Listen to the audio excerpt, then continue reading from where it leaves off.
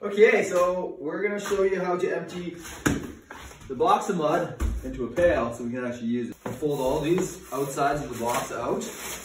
Put your bag big.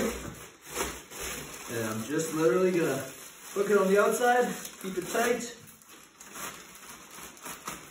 and have it like that, okay? Pretty straightforward. And now this is the real part. What we're gonna do is we're gonna one-shot it into the bucket, okay?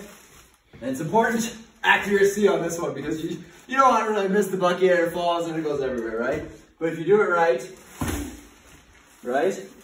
You hit it. You see how I got it at an angle, but still the majority of it still went in. So then you unhook your bag. You pull your box out. Look at that. The mud's in there. You can kind of pull your bag out after.